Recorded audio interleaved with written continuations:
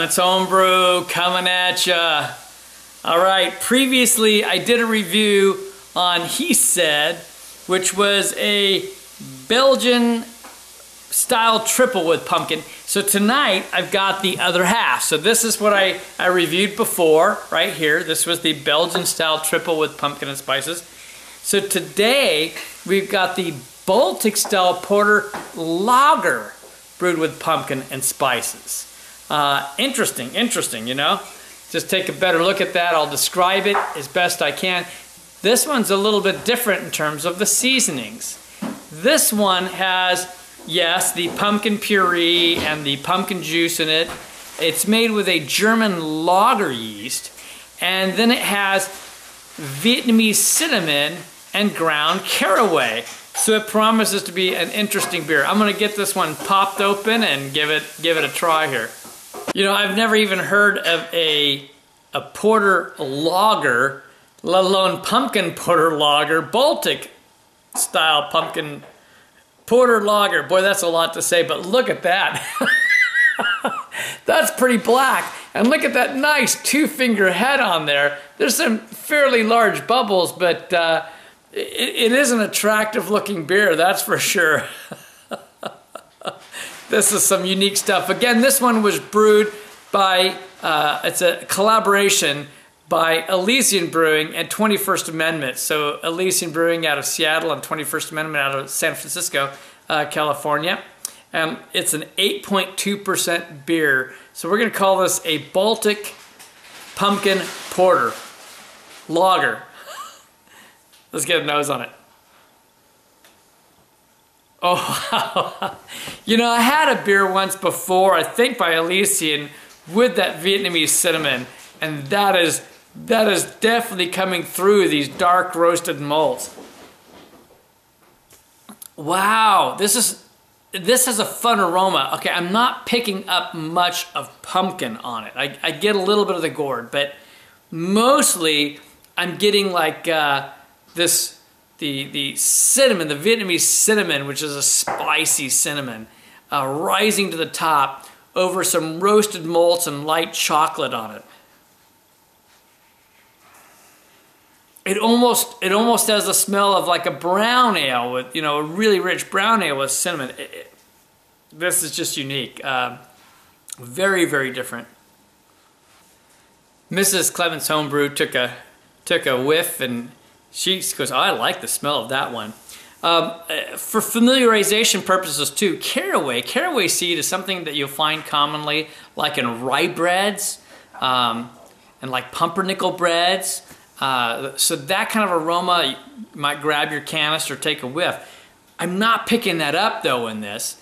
Uh, again, I'm just getting those that, that, that roasted malt hinted chocolate with the cinnamon. So Anyway, we're going to go for this one. Cheers.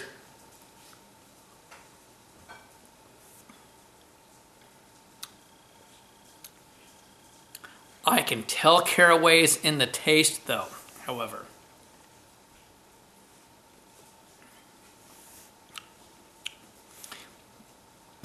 Unless you, unless you know what caraway smells and tastes like, that's very hard to describe, but the caraway is toning down, I don't want to say a rye taste, but that rye bread taste, okay? Pumpernickel taste, rye bread taste, the combination of those two feels like it's been popped into this Baltic style porter.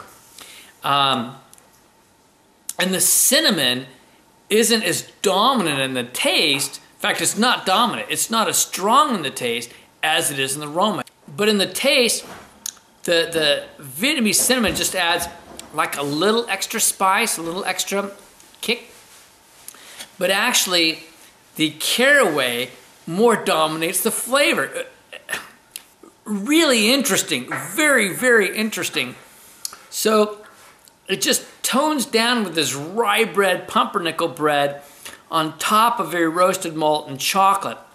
And in the taste, I think the chocolate is a little stronger than the roast as opposed to the aroma. And it's it's almost a reach in some ways to pull the pumpkin out. the pumpkin puree and the pumpkin juice. I think I get more of the pumpkin juice aspect almost.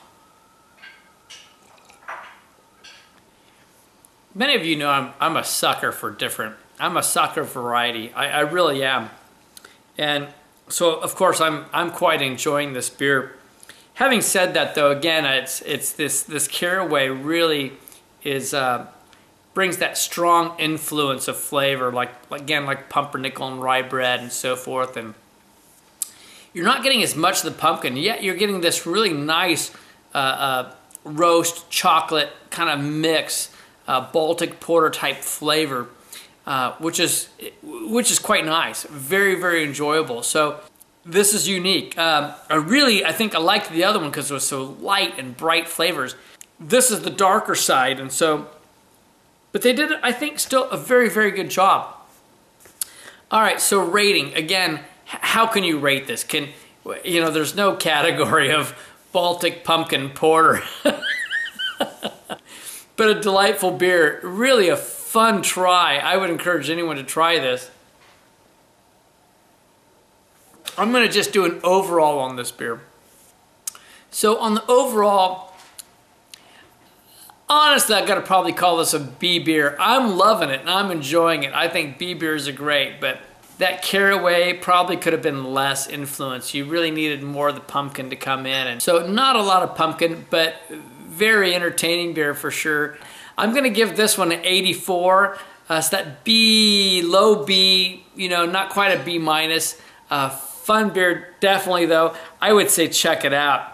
This is the um, Baltic style porter lager brewed with pumpkin and spices. This is what you're looking for. I would get the set. I really would. Uh, this was a fun set for me.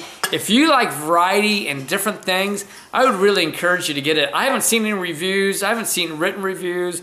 I just saw these and said, I gotta go for it. Elysian is a master with pumpkin ales. Uh, I think we all realize that. Uh, but I've had a lot of fun with these two beers. So from uh, Kevin at Clement's Homebrew. Life is too short to drink cheap beer, and I will see you in the next beer review.